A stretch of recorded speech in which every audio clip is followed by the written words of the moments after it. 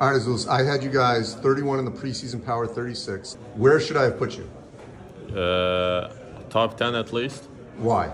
because last year we were uh, top three, top two, top two team in the country, and we got the first seed. So I don't know.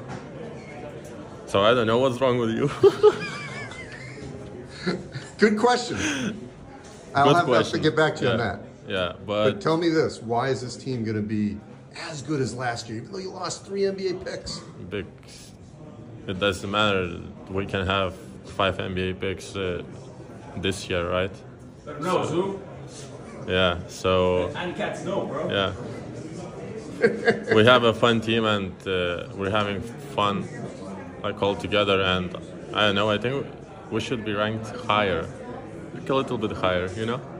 All right, I will. Thank Yeah. you. Thank you.